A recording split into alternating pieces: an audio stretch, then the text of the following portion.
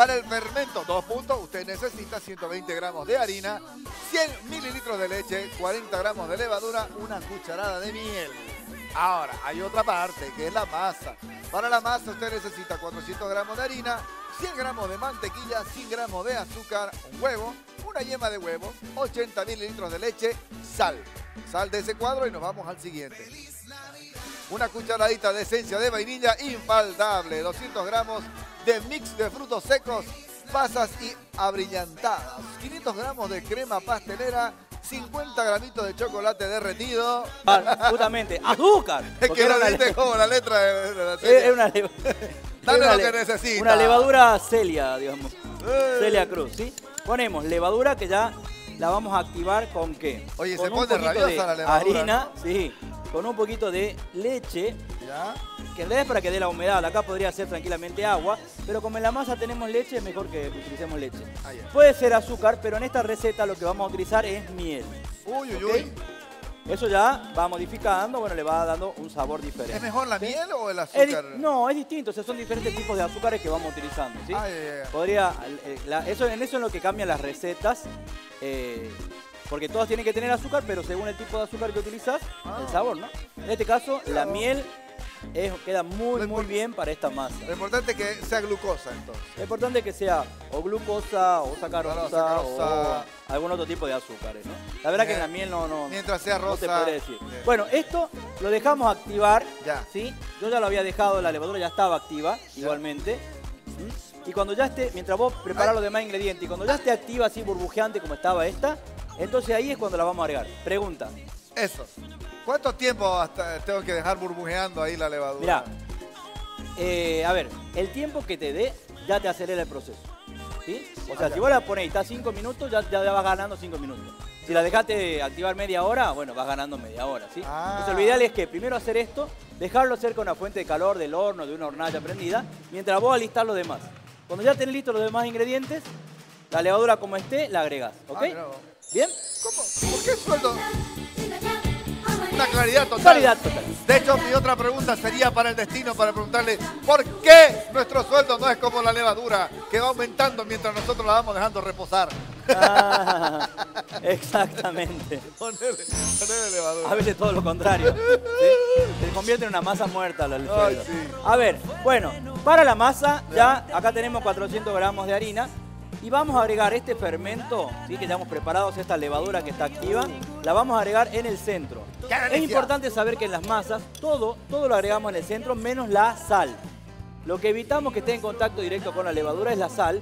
Entonces la sal, exactamente, la ponemos por fuera o mezclada ya previamente con harina. ¿sí? Por los costadillos. Y acá en el centro donde vamos a poner todos los demás ingredientes, vamos a ponerle azúcar igual, para que la masa sea dulce. Fíjate que la miel la habíamos utilizado para el, acti- eh, la fer- Activar fermento, la para levadura. activar la levadura, ¿sí? El azúcar ya para que engorde solito. Exactamente. Acá, para color, sabor y aroma, vamos a poner yema y un huevito entero. O sea, el huevito entero es porque ta- estamos poniendo las yemas, obviamente. Ah. La clara nos sirve como hidratación, porque la clara prácticamente es agua.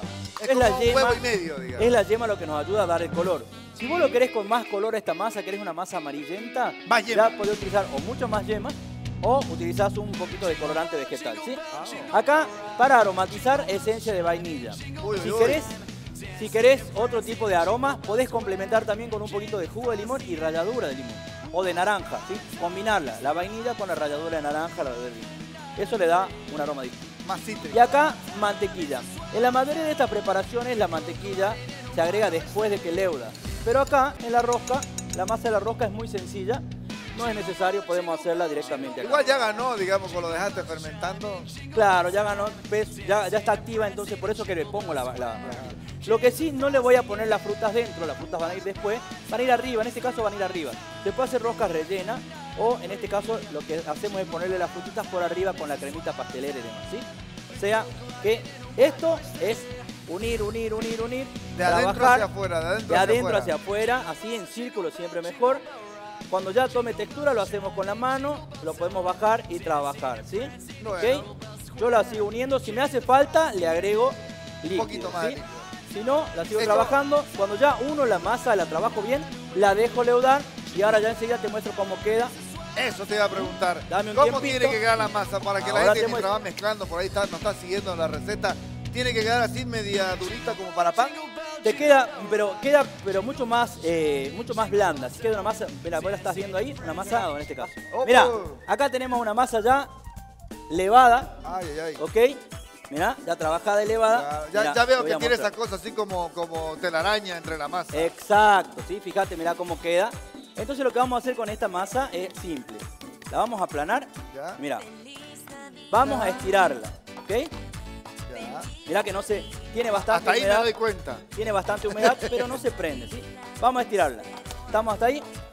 De acá lo que voy a hacer es dividirla en tres. ¿En tres? En tres. Porque esta masa, que es la masa de la rosca, la misma masa se puede utilizar para la rosca de Pascuas, para la rosca de Reyes, ¿sí? Ah, claro, Pero lo que- cambia más que todo es la forma, ¿sí? Decimos. No, no, te iba a decir es que acá cuando se agrupan amigos, así tipo logio, le dicen la rosca, le dicen. Así también. Por eso, por eso digo, ah, claro, que como son amigos, son medio aliados. Ah, Claro, la masa de la rosca puede ser la misma. Entonces, después para Pascua, lo que se hace es decorarla con huevitos de colores. ¿Sí? En Reyes se, dedica, se, se- se hace más con frutitas y demás, ¿sí? o con glacé. Y en este caso se trata de que sea más como una corona, como una corona de espinas. Ah. Entonces se la puede hacer con cortes, o en este caso la, se la puede hacer rellena también. Y en este caso la opción que te traigo es hacerla así. Claro, como. como Hacerla tres- simbada, mira.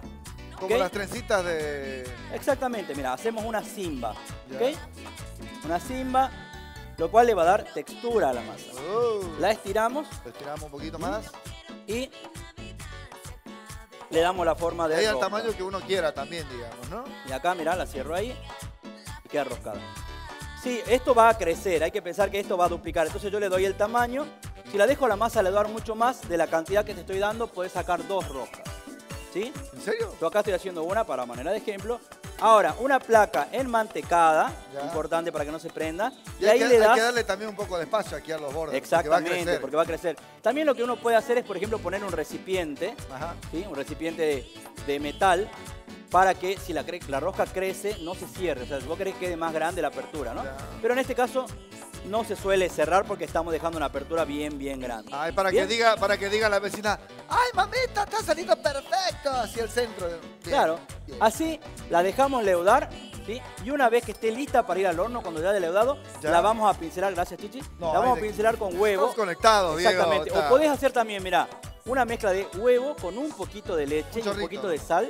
Eso la diluye mejor y le da mejor textura eso para que tenga brillo, ¿sí? Entonces, huevo, leche, un poquito de sal, que son los mismos ingredientes que estamos utilizando. Ya. Y ya cuando la masa haya leudado un poquito más, pero igual acá vamos a hacerlo a manera de ejemplo para que vos veas. De la pincela. ¿Esto qué va a hacer cuando entre al horno? Le va a dar brillo. Un toque le va a dar más terminación, más dorado. Aunque la vamos a cubrir, pero vos fíjate que las partes donde está la masa, donde se ve la masa, Ah. eh, se ve bien brilloso, ¿sí? Tiene un Entonces, un colorcito así como Claro, cambia la presentación siempre. Y por ahí hay gente que no le guste la fruta, las cremas, todo eso, entonces querés hacer, querés hacer una, una rosca así nomás, ¿sí? O querés ponerle la, la fruta por dentro, ¿Ya? entonces pone, la de- para que Se quede puede. más bonita por fuera, le podés poner así, darle brillo. ¿Ok? No, solo una capa, ¿no? Porque hay gente que he visto que a veces saca y le da una capita más. Exacto, una sola capa. Ah, ya. Ahora esto la dejo- Esta rosca navideña, mirá. Ahí está, una vez bien ¿Salió del cocidita, horno? ¿Qué le la pusiste? dejamos enfriar un poco, le ponemos abundante cremita pastelera por encima. Uy, qué rico. ¿sí? Y ahora le damos, obviamente, el toque navideño. Si me ayudas, mira, con la Ah, frutita, claro, yo le claro, pongo claro. esta fruta abrillantada, vos le ponés la fruta seca, o lo Ya. puedes tener mezcladito también, ya a decoración de cada quien, ¿no?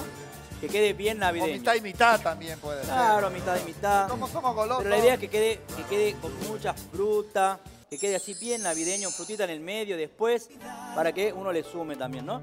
Y le damos un toquecito que puede ser con un glacé, o en este caso...